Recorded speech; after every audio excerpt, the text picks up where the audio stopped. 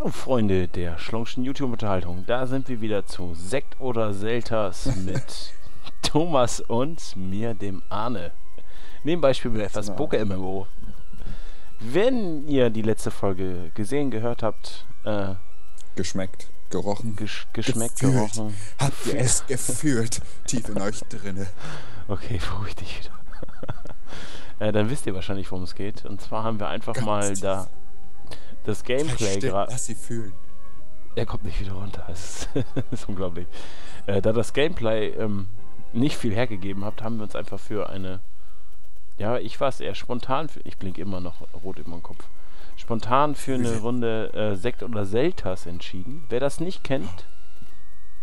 Thomas, lässt du mich das jetzt einfach mal erzählen? Ja. vielleicht? Ich will die Zuschauer nur dazu animieren, zu fühlen. Fühlt es, Leute. Ja, Fühlt den Poketrainer in euch. Tief drin. vielleicht geht es ihnen dadurch besser. Man weiß es nicht. Nein, auf jeden Fall. Ähm, wie, wie,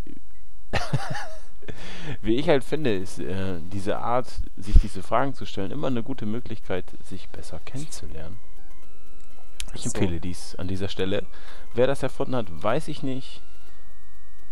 Ja, vielleicht sollte man dazu sagen, dass wir uns eigentlich auch noch nicht so lange kennen. Das stimmt. Ähm, ich habe letztes Mal, ohne Scheiße, ich habe letztes Mal überlegt, wann wir das erste Mal zusammen geskypt haben. Da hat Hauke dich, glaube ich, äh, in der Konferenz, weil du kennst Hauke ja vorher schon, ich glaube durch Tim, ne? Genau. äh, eine Konferenz hinzugefügt und da haben wir das erste Mal miteinander kommuniziert quasi. Und dann, ja, dann zockt man halt zusammen und dann überlegt man sich, man macht einen YouTube-Kanal und dann denkt man sich, ey, wir zocken ständig zusammen und haben einen YouTube-Kanal, warum wir uns nicht mal treffen? Und haben das dann auch gemacht, aber so, ich, Mhm. ich weiß nicht mehr, wie lange das schon her ist. Ich habe das voll verpimmelt. Also Keine ich habe. Hauke auch erst nach, ich glaube, über einem Jahr das allererste Mal gesehen. Ja. Aber wir haben halt auch ständig geskypt. Fast Ja. täglich. Also damit an alle Kritiker, dass man über soziale Netzwerke bzw. über Computerspiele sind es ja im Endeffekt äh, keine Freunde bzw. nette Bekannte finden kann. Es stimmt nicht. Es geht. Die Schlongs sind ein gutes Beispiel dafür. Also sagen wir mal so, man findet Hip, auf jeden Fall hip, Bekannte. hooray. ja, aber man weiß ja nicht, was sich daraus entwickelt, ne? Ich werde dich nicht heiraten. Nein, Wo wir wieder bei Sekt oder Selters werden, Mann oder Frau? Für was jetzt? Ja, heiraten. Nein, heiraten werden wir nicht. Das glaube ich ja nicht. schade. Obwohl ich möchte mich dem nicht komplett verschließen. Vielleicht geht ja irgendwie mal, wenn wir von Außerirdischen angegriffen oder so und es bleibt uns nichts anderes übrig. Um die Welt zu retten oder so, müssen wir halt heiraten. Weil die da irgendwie drauf stehen oder so, keine Ahnung. Ja, das könnte es sein. Ja, dann würde ich es auch machen. Oder aber dann, was ist, wenn die sagen, ihr müsst auch etwas füreinander fühlen? Ja, tue ich doch. Ich fühle doch was für dich. Und was fühlen die Zuschauer? Thomas, äh, wie ich mich recht dran entsinne, bist du übrigens dran mit Fragen. Okay. Bier? Oh, oh scheiße, ich habe gerade eine Frage. Ja, kannst du ja gleich stellen. Bier oder Ananas? Bier oder Ananas? Oh ja. Bier. Oh. Oh, wir heiraten wohl doch Oh. nicht. Schmeckt doch nicht. Bier, Bier ist, ein, Bier ist was ganz Tolles, ist das. Okay. In vielen, vielen Ja. Variationen. Ich mag echt viel Bier, also jetzt nicht, in, auch, ja, auch viel Bier und viele verschiedene Sorten. Also es gibt jetzt zum Beispiel in, äh, in Norddeutschland trinkt man ja eher so die pilzigen, die etwas herberen Sorten, wie Pilz. Jever, Fuß. Halt die Fresse,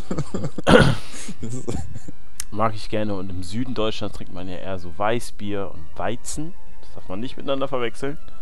wird fliegen. Pilz. Thomas, du bist, du bist manchmal bist du doof. Fühlt ihr es? Ja. Äh, ja, nee, Bier. Aber wie, wieso stellst du eine Ananas äh, gegenüber von einem Bier? Was soll ich mit der Ananas?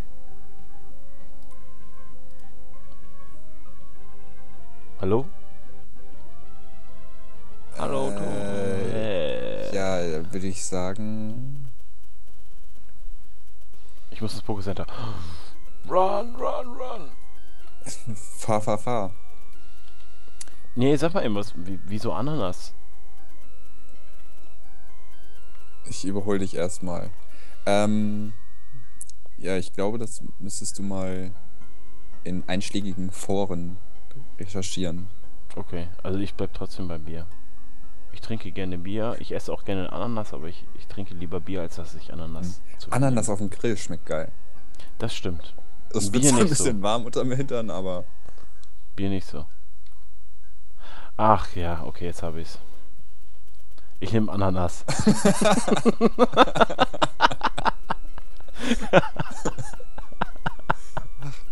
da merke ich wieder, der, der Arne, der ist ein ganz netter.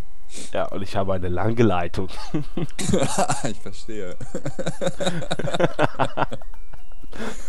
oh. Kann man nicht- Wind? Kann man nicht ein Bier mit Ananas zu sich nehmen?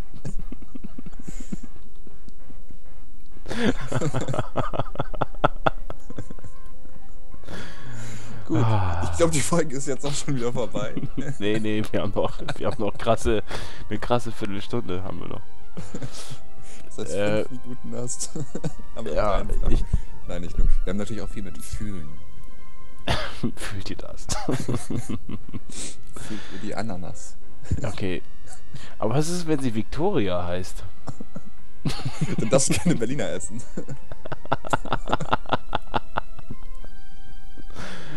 Okay, gut, okay. Äh, Oder für ich bin, Berliner, dann darfst du keine äh, Pfand, Pfannkuchen, heißt es da, ne?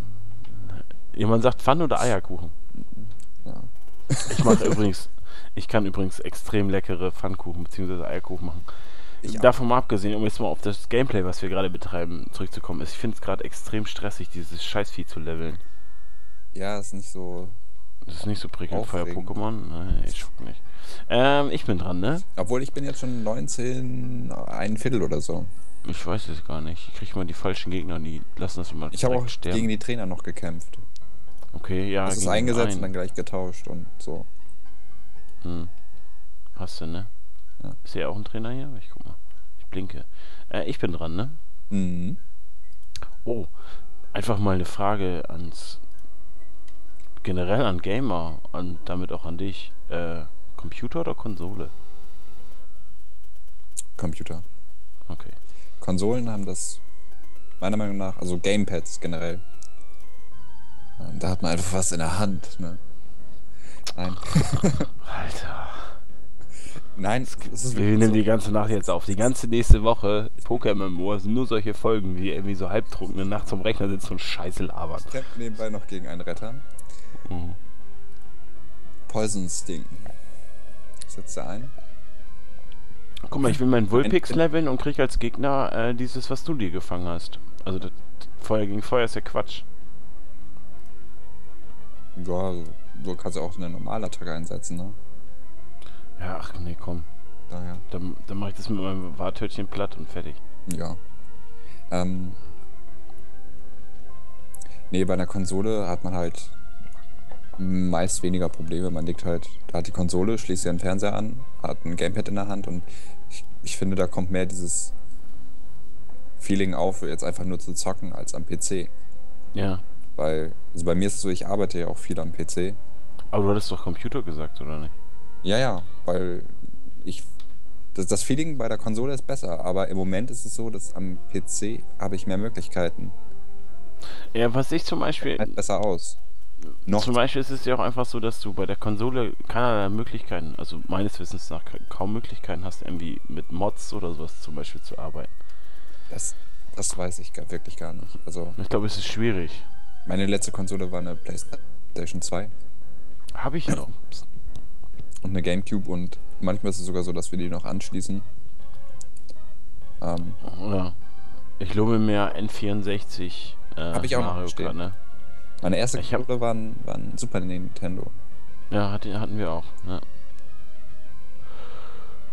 Geiles Ja. Teil, muss ich sagen. Ich bin gespannt auf deine Frage. Ja, aber ich hatte vorher schon einen PC. Weit vorher. Windows 3.1, damit habe ich angefangen. Boah, ohne Scheiß, mein erstes Spiel, da hat meine Eltern sich einen PC gekauft und da war, ich glaube, das hieß sogar Prince of Persia. Ja? Yeah. Und das war in grün, dieser grün-schwarzen Optik. Glaube ich. Ja, war es auch. Und da musstest du durch so komische Dungeons laufen und kämpfen. Das ist, Alter, wenn ich das immer mal wieder finde und das irgendwie zum Laufen kriege, das wäre der Hammer. Das würde ich sogar Let's Playen ohne Scheiß. Aber ich habe keine Ahnung, wie das heißt und keine Ahnung, wie man an, da, an dieses Spiel rankommt. Da wird, bist du Alter, echt so durch so ganz simple Level gelaufen, in dieser ja, Gameboy Tetris Grafik, also dieses schwarz-grün. Mhm. Und ähm, hast gegen so alles heißt so ein Typen mit einem Schwert und hast da irgendwie gekämpft. Voll witzig. ja, aber auf jeden Fall, Thomas, äh, du bist wieder dran mit Fragerunde. Okay, ähm, Kaffee oder Energy? Ganz klar Kaffee. Kaffee. Ich bin ein absoluter Kaffee-Fan. Jeglicher Kaffee oder nur? Den, den ich mir in meiner Kaffeemaschine mache. Kaffee. Muss er stark sein? Oder soft? Mit Ananas? Äh, äh, also die Frage ist ja Energy oder Kaffee und ich sag Kaffee. Ja, ja okay. Das, das andere wäre auch zu intim. Ja. Wollen wir hier nicht. so mit Schuss oder Milch oder so. Boah, ey, wie das nicht stirbt, das Drecksding, ey. Mein Vulpix ist so eine Lampe, ey. Ja, Mist attacked, komm, verpiss dich. Ich verkauf dich an irgendeinen Kameltreiber. Der verkauft dich dann wieder. Es gibt hier keinen Kameltreiber. Ja, weiß ich noch nicht. Ah, dann äh, nächste Frage, ne? Mhm. An dich. Ähm, ist... B. Ja, genau. ich weiß genau, wie die Frage heißt. Jetzt habe ich mich verschluckt. Ich reiß mich zusammen. Würden Sie, äh, Frage an den äh, Kandidaten. Wenn Sie, mit wem würden Sie lieber Sex haben? A, mit einer jungen Frau, nee, mit Ihrer Frau oder B? B? ah, wie ist die Serie noch? Keine Ahnung, aber ich muss dir eine Sekt- oder Selters-Frage stellen, deswegen zählt das ja nicht. Ähm, ich muss jetzt gerade überlegen, wie die Serie heißt. Mm. Oh, ich glaube, die ist gar nicht schlecht. Ähm, die Serie? Nö, ich fand die ganz cool. Ähm, ich muss dir nur die beiden rausfinden, die ich, zu denen ich dich frage. Ähm.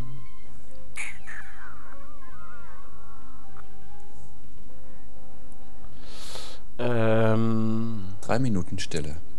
La, Lass mich doch mal nachdenken. Öffentlich-rechtliche oder privat? Öffentlich-rechtlich. Alles klar, sehr gut. Auf privaten laufen bessere Blockbuster mit grandiosen Werbeunterbrechungen.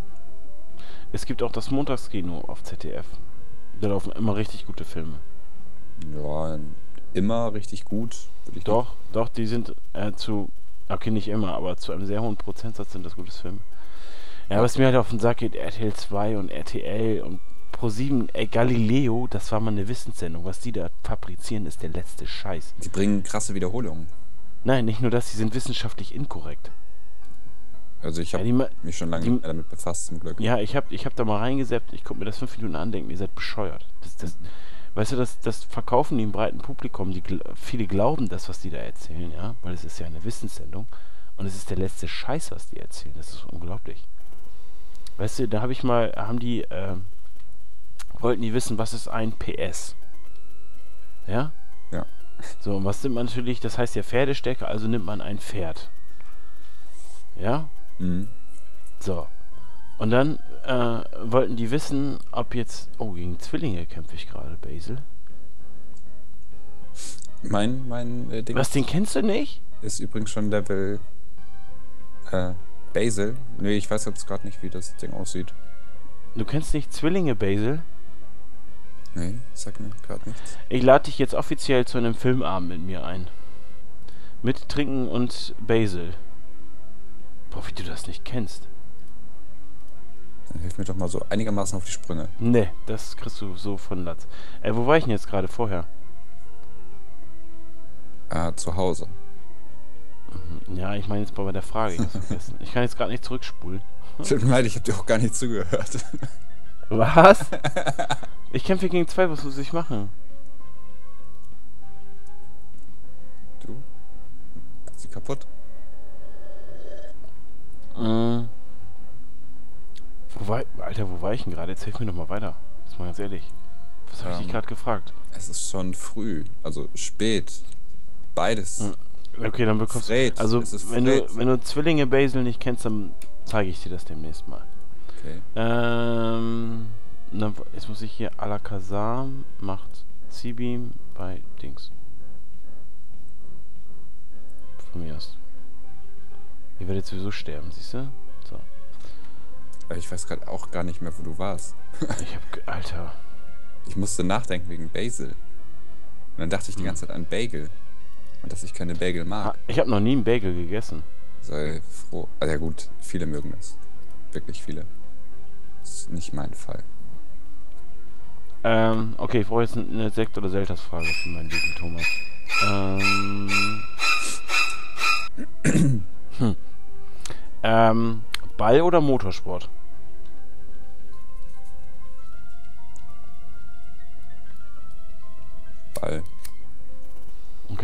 Du bist wieder dran. Solange es kein Fußball ist. Ja, es, ist, es sind ja ganz allgemeine, generelle Fragen und die kann man Ja. so beantworten. Wie man halt sich das für sich fühlt. Ähm, Süß-sauer oder scharf? Oh, das ist schwer. Oh, eher scharf. Ich esse eher lieber gern scharf. Doch, doch scharf, ja. Ähm.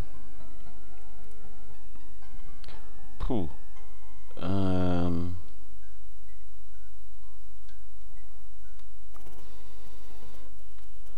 Äh, du, Sommer oder Winter? Ich glaube, das ist auch ganz interessant, oder? Sommer. Okay.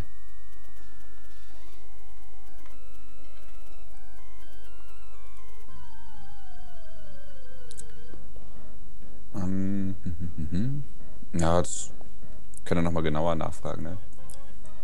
Hund oder Katze? Da, du weißt ja wo genau.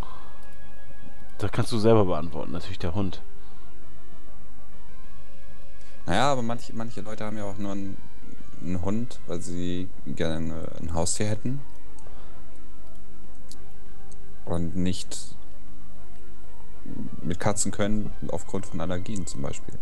Ja, also ich definitiv zu 100% Hund. Mhm.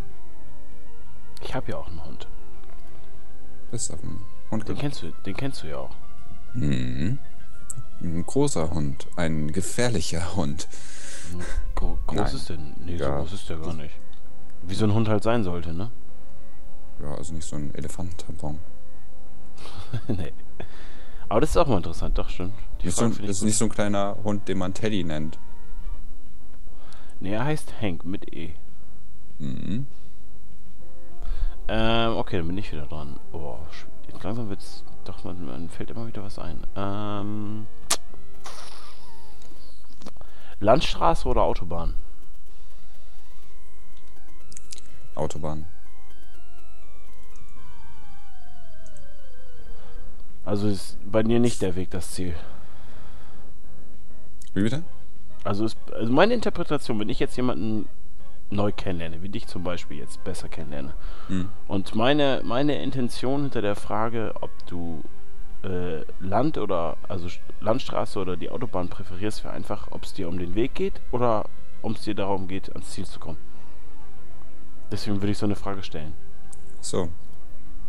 Also bei dir heißt es, du willst ans Ziel kommen und nicht unterwegs dir alles Mögliche angucken und die Landschaft genießen zum Beispiel. Nee, ich weiß ja, was ich, mich, was ich mir angucken möchte. Ja, genau, okay. Also bist du eher zielgerichtet als statt ein, eines Träumer. Träumers, ja, das wäre so das. Ich bin kein Romantiker, ja, Okay. was äh, das angeht. Ja, ja, ja, ja, ja, ja. du bist wieder dran. Die Folge ist auch gleich wieder rum. Ist ja doof. Äh, nehmen wir einfach die nächste auf. Aber ich kann ja noch eine Frage stellen. Ja, das darfst du auch. Das finde ich jetzt sehr wichtig.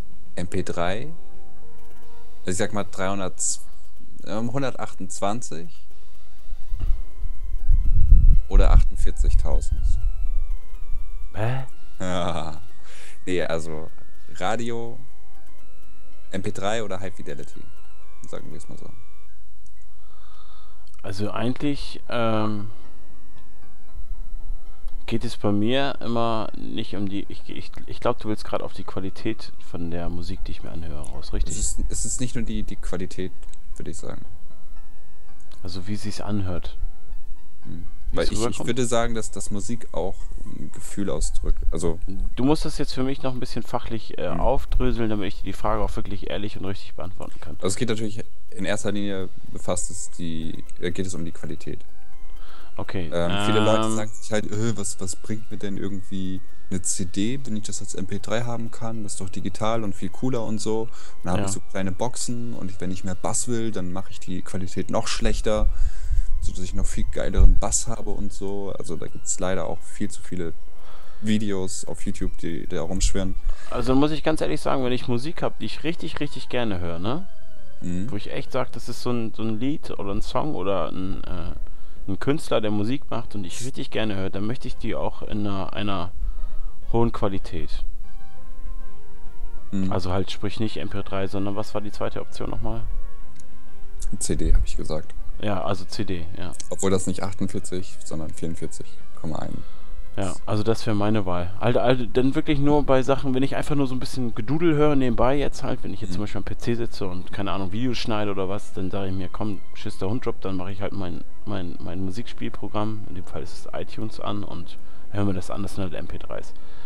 Aber manchmal habe ich halt Lieder, also wo ich wirklich, wenn ich bewusst Musik hören will, wo es um die Musik geht, dann möchte ich auch die Qualität haben und dann würde ich zur CD greifen. Ja. ja. Auf jeden Fall. Aber es gibt ja auch diese, diese HiFi-CDs, ne? Das weiß ich gar nicht. Also ich habe, ich muss ganz ehrlich sein, ich habe mir schon ewig keine CD mehr gekauft. Wenn habe ich mir die geliehen? Oder Vinyl. Ich habe mal eine Facharbeit über High Fidelity geschrieben. Ja. Und ähm, das ist das Thema. In der Facharbeit kann man die Themen ja auch nur ankratzen eigentlich. Ja. Es sind 13 Seiten, eigentlich kann man sagen, es sind nur 8, maximal 8 Seiten. Facharbeit mit 13 Seiten? Was ist das? Das ist doch keine Facharbeit. In der Schule. In Ach so, in der Schule. Ach so, ja. okay, ja.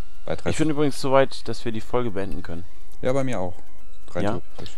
Dann, ich hoffe, es war ein bisschen interessant für euch. Äh, wie gesagt, das Gameplay ist im Moment ein bisschen nebensächlich bei uns. Wir leveln halt gerade irgendwie unsere Pokémon und wollten einfach mal so ein bisschen äh, ja, uns, uns gegenseitig vorstellen und uns euch vorstellen. Und ähm, ich denke mal, das wird in der nächsten Folge nicht viel anders sein.